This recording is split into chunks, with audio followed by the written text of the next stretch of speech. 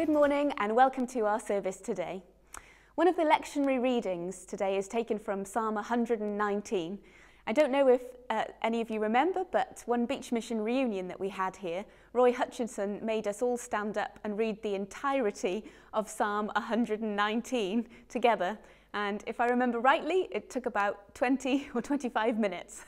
so I'm not going to make you do that this morning, but just a couple of verses. It says, Your word is a lamp to my feet. And later, Your statutes are my heritage forever. They are the joy of my heart. You know, we think of laws sometimes as restricting us, but God's laws set us free, free to be the people that He made us to be. And repeatedly in the Old Testament, He says, Be holy as I am holy. So he mustn't think it's an unrealistic demand. He made us to reflect him, and he has rescued us.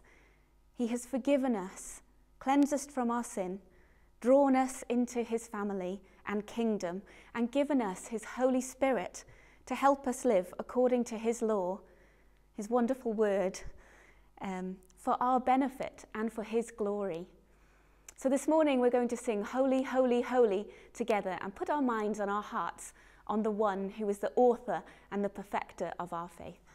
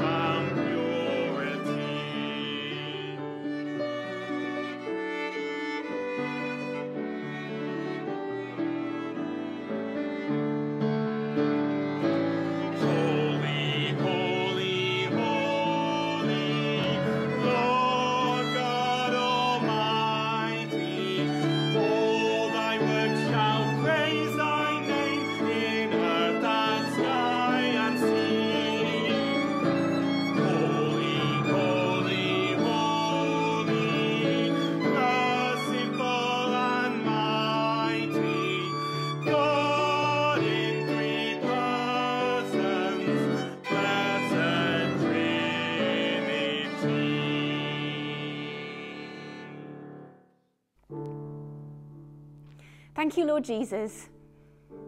You accomplished all that you came to do.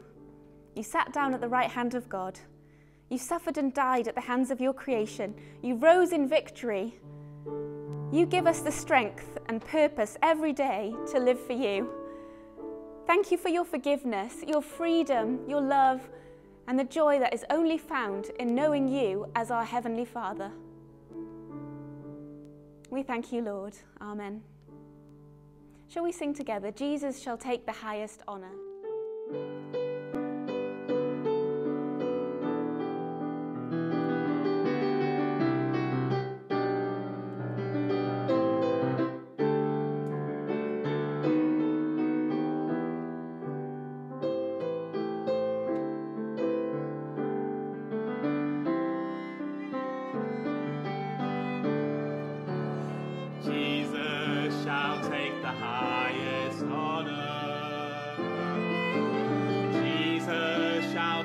Yahweh.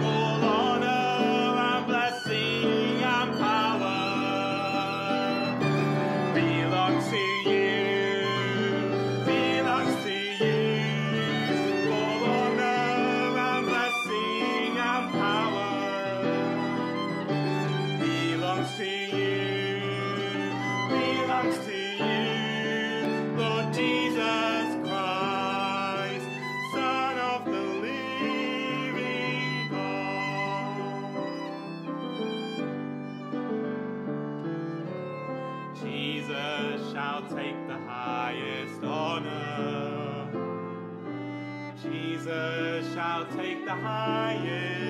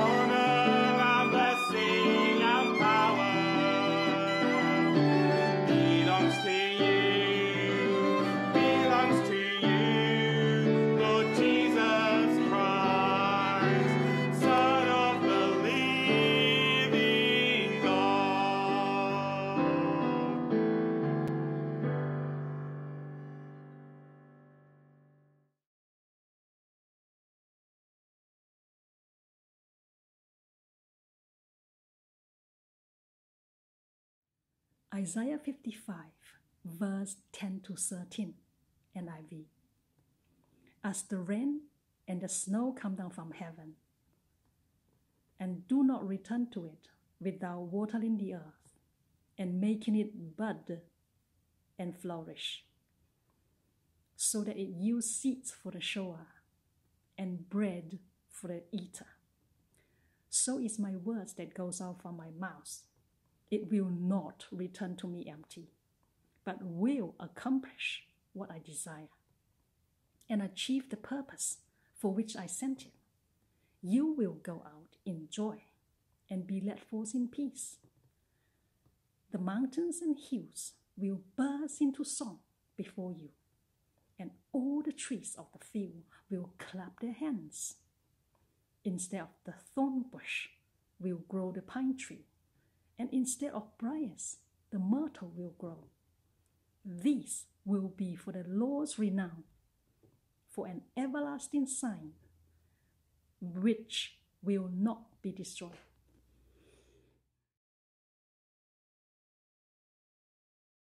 Matthew chapter 13, verse 1 to 9. Later that same day, Jesus left the house and sat beside the lake. A large crowd soon gathered around him, so he got into a boat. Then he sat there and taught as the people stood on the shore. He told many stories in the form of parables, such as this one. Listen. A farmer went out to plant some seeds. As he scattered them across his field, some seeds fell on a footpath, and the birds came and ate them. Other seeds fell on shallow soil with underlying rock. The seeds sprouted quickly because the soil was shallow. But the plants soon wilted under the hot sun, and since they didn't have deep roots, they died. Other seeds fell among thorns that grew up and choked out the tender plants. Still, other seeds fell on fertile soil, and they produced a crop that was thirty 60, and even a hundred times as much as had been planted. Anyone with ears to hear should listen and understand.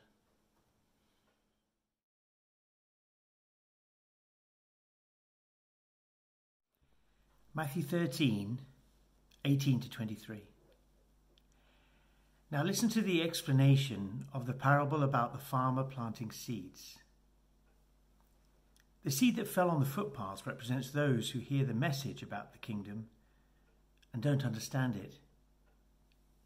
Then the evil one comes and snatches away the seed that was planted in their hearts.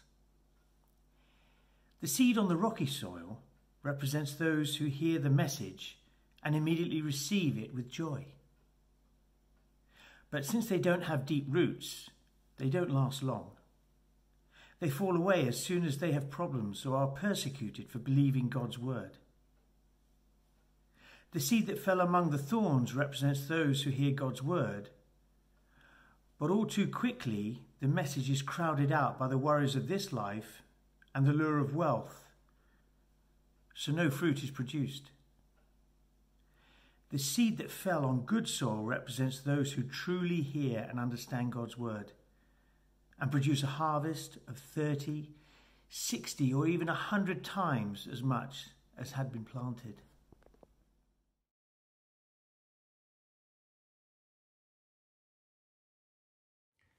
Isn't it wonderful that we can worship God together in singing and listening to the Bible readings and opening our hearts and minds to God's Word during our weekly Sunday service?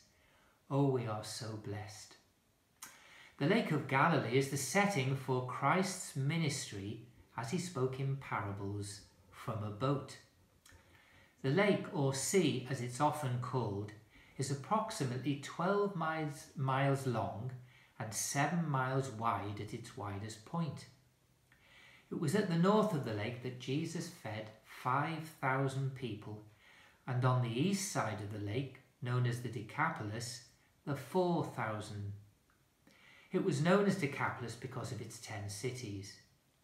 From the Mount of Beatitudes, where Jesus gave the Sermon of the Mount, you can see right the way down to Capernaum, the place where Jesus based his Galilean ministry right on the lakeside. On the edge of the lake and looking down from the Mount of Beatitudes is a lovely beach which commemorates where Jesus spoke to the crowds from a boat. Mark tells us that the crowd was so great that Jesus got into the boat, went over the water, and sat in the boat. Where did all these crowds come from? Well, Mark tells us in his account of this story that when they heard all that Jesus was doing, people came to him from Judea, a hundred miles away, Jerusalem, 98 miles away, Idumea in the south of Israel, 130 miles away, and the regions across the Jordan, 100 miles away. Tyre and Sidon were 30 miles away.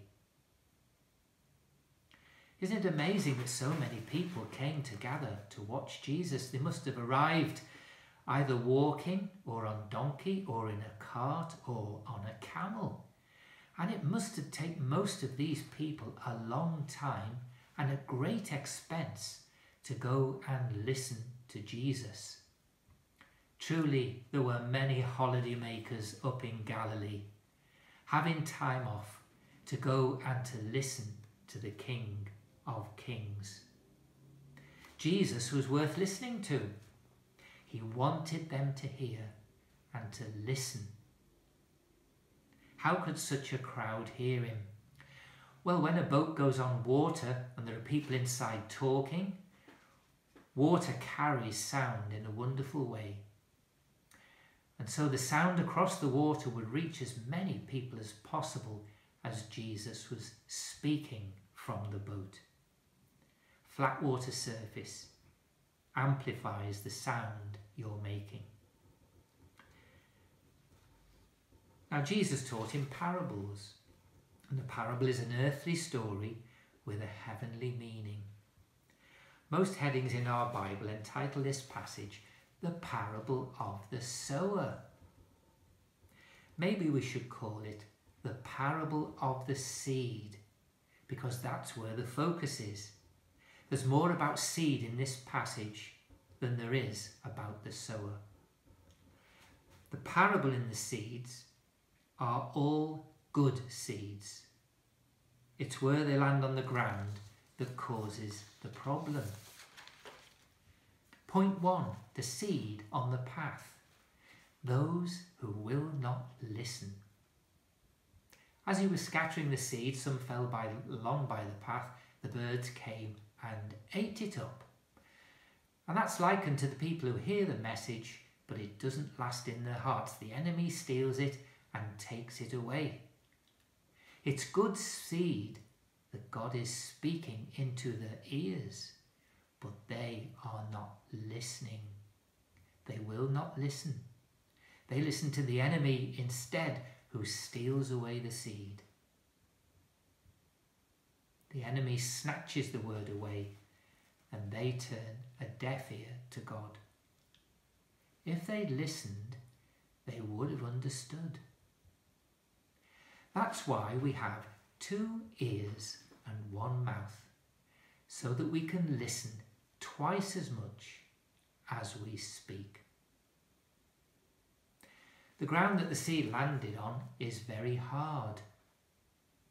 That's why the birds could just come and pick it off the path. And sometimes hardness can creep into a Christian's life. Certainly it made those people hard against the Lord. The disciples even hardened their heart against the Lord once over the issue of the feeding of the 5,000. They'd not understood about it. Their hearts were hardened. And Christians can sometimes enter into a hardness of heart. The Old Testament Ezekiel speaks into this. He speaks to God's people and he records that the nation had turned away and hardened their hearts. And yet there's hope. What did he say? I will give you a new heart and put a spirit within you, a new spirit, the Holy Spirit. I will remove from you your heart of stone and give you a heart of flesh a heart that feels. Oh, we don't want a hard heart to God. We want a soft heart to Him. Love the Lord your God with all your heart, with all your soul, and with all your mind, and with all your strength. What a wonderful promise that is as we do as we follow the Lord Jesus. If you love God with all your heart, you don't want to disobey Him. You don't want the enemy to steal the treasure of the good seed. Let's point to the rocky ground, those whose response is superficial. Well, there are those where the seed lands on the ground and they hear it or they listen and they receive it with joy, but in a short time when difficult has happened, there's no root The seed has lost its root. It can't root down into the ground because of all the stones. They quickly fall away. Difficulties come up. And you may be tempted in your life to walk away too, to throw in the towel and to give up. Well, look, we used to have a saying years ago keep on keeping on. We've heaven to look forward to, and heaven can also be in our hearts. Consider it pure joy, says James, my brothers and sisters, whenever you face trials of many kinds, and you may be facing lots of trials today, don't give up. Because James says that the testing of your faith produces perseverance. Let perseverance finish its work so that you may be mature and complete, not lacking in anything. So may we not be like the seed that fell in the rocky ground with no root. Our root is the Word of God, the Bible. It is an anchor for our soul, isn't it, in the Lord Jesus? We're called to open our hearts to God in prayer and we're open to fellowship.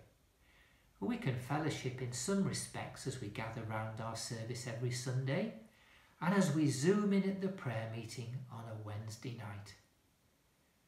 Now, it's not the best way to be able to meet, as we all know. We can't wait to see people and get back into the church.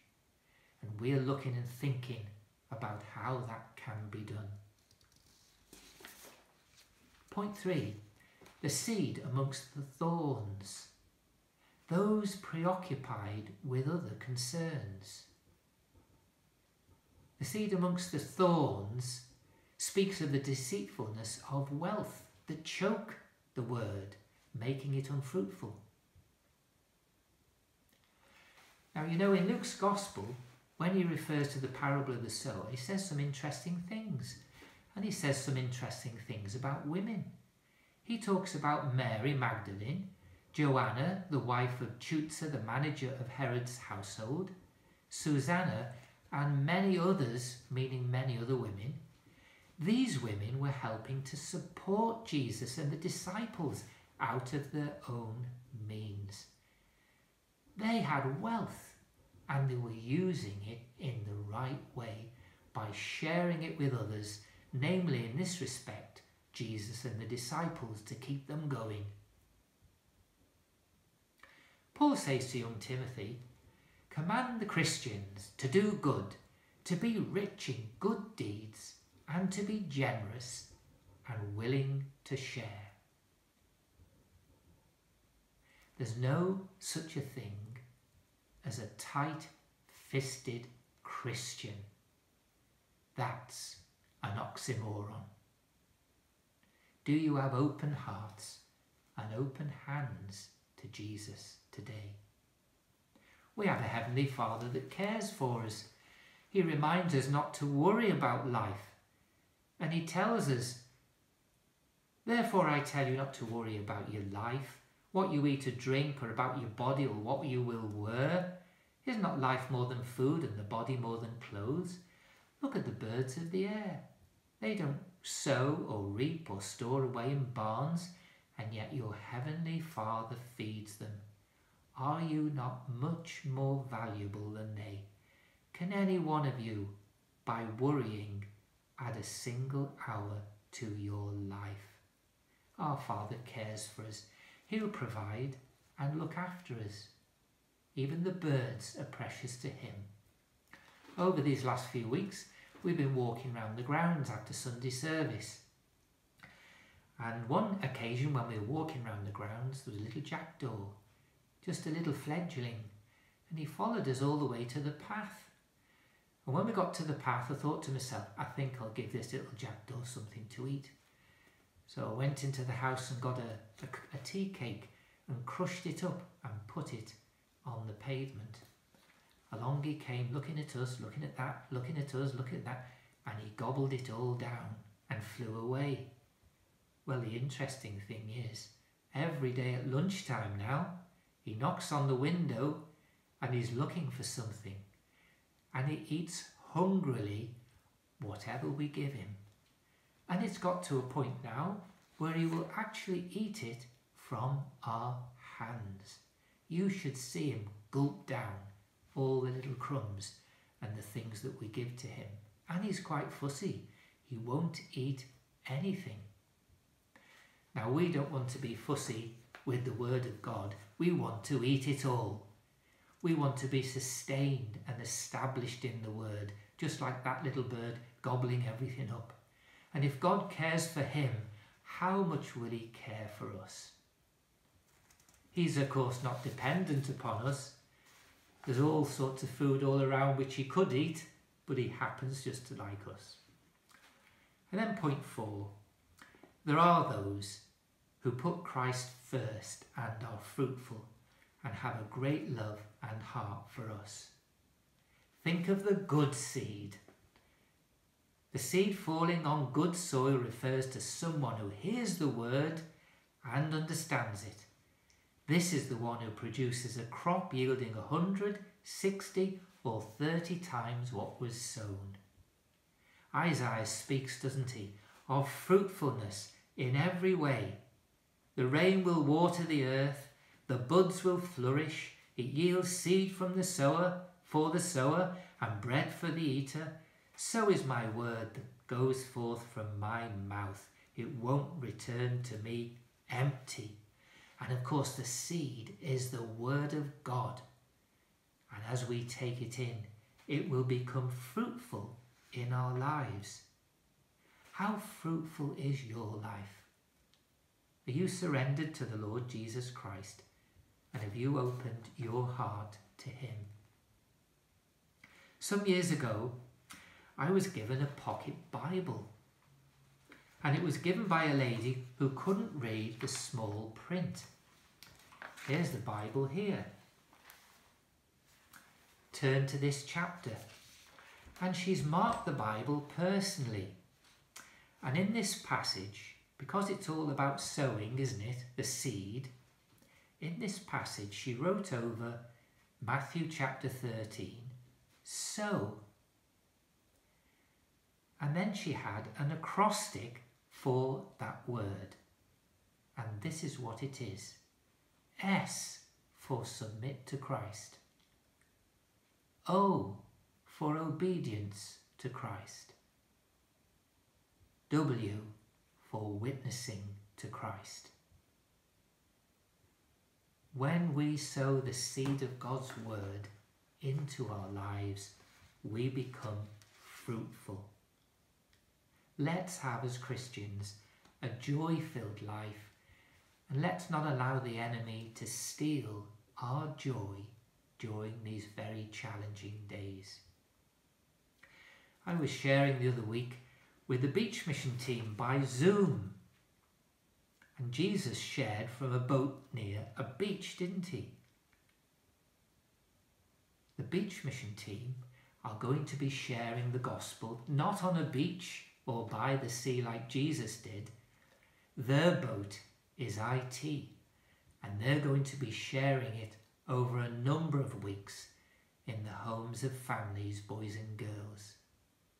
Let's pray that all who listen will open their hearts to the Lord Jesus. There are many who need Christ. And when this lady wrote in, so, and the last word, witness, that's the challenge of what Christians should be and do and speak in this world. There are so many who need Christ in the boat of their lives. Let's go deep with Jesus and let's spread his love around. Amen. Let us pray. Soften my heart, Lord, soften my heart. From all indifference, set me apart to feel your compassion, to weep with your tears. Come, soften my heart, O Lord, soften my heart. Thank you, Father, that we can come to you this morning. You are the Father of compassion and the God of all comfort. You are not a God far away, but the one who sees and listens and responds to our faintest prayer. Forgive us for any indifference and hardness of heart. May you fill us afresh with the Holy Spirit and your love into our hearts. How we need you. As your people, may we clothe ourselves with your compassion for a lost world, a hurting world, a world that rejects you even today. Open their eyes, Lord. We pray for families and all in the health service. We pray especially for the bereaved who are still grieving.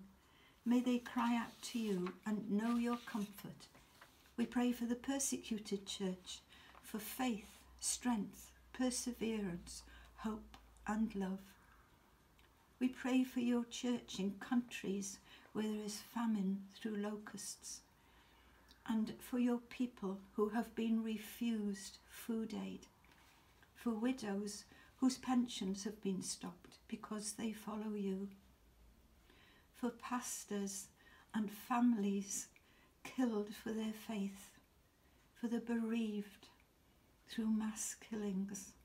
O oh Lord, change the hearts of those who persecute and those in governments who allow this violence to continue. Your promise stands. I will build my church, and the gates of hell shall not prevail against it.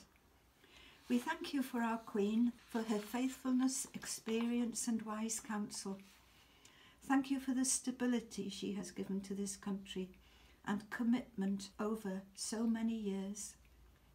Thank you for her faith in you. May you strengthen her today and protect her.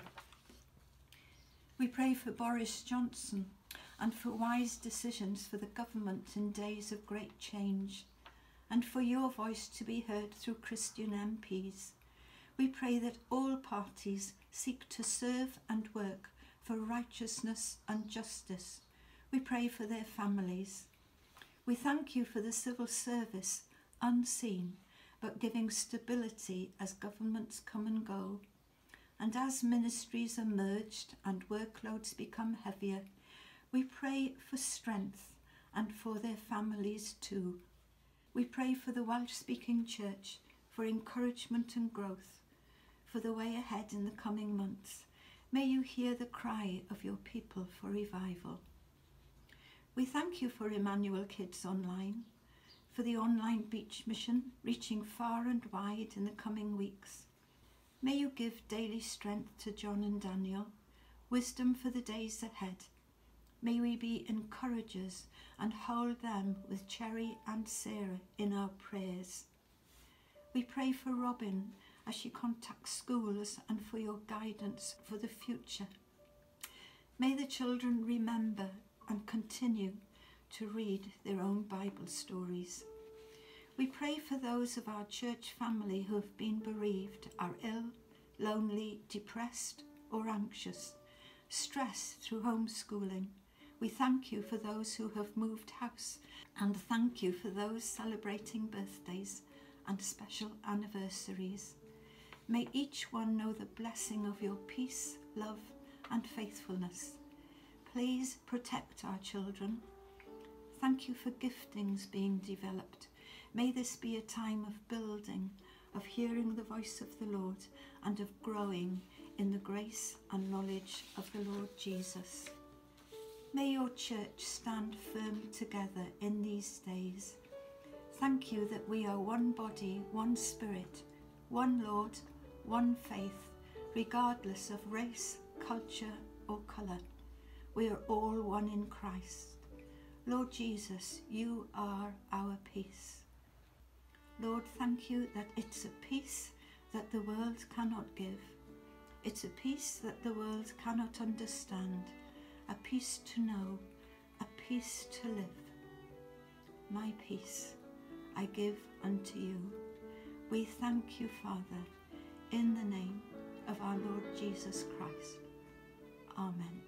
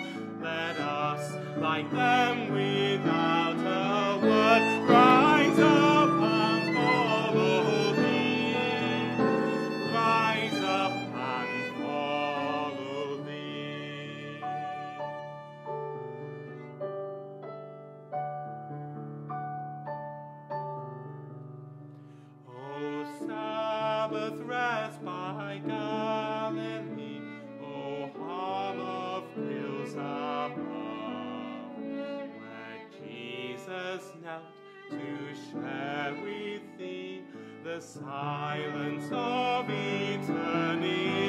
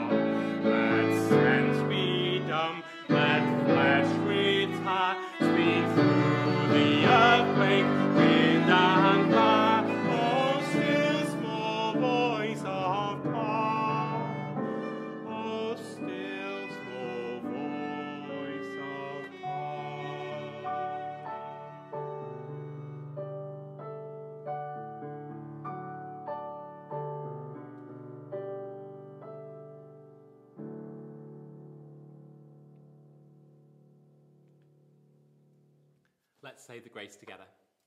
The grace of our Lord Jesus Christ, and the love of God, and the fellowship of the Holy Spirit be with us all evermore.